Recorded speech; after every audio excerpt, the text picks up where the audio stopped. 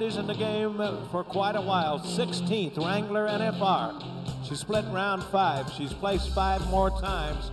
Top four in the world. You know what she's doing? She is merely taking care of business.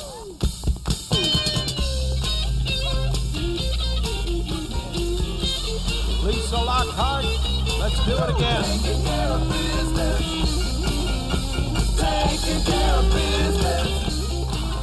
And a 13 59 on the run for Lisa in the ninth round will put her in the top five.